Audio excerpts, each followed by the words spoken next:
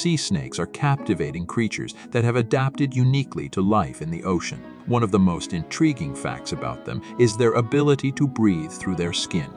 While they do possess lungs for breathing air, sea snakes can absorb up to 70 of the oxygen they need through specialized scales on their skin. This remarkable adaptation allows them to stay submerged for extended periods, sometimes up to several hours without needing to surface for air. Furthermore, sea snakes are incredibly venomous, with some species delivering venom potent enough to immobilize or kill their prey almost instantly. However, they are generally not aggressive toward humans and rarely bite unless provoked. This remarkable combination of adaptations for underwater life and their potent venom makes sea snakes a fascinating and enigmatic part of the marine ecosystem.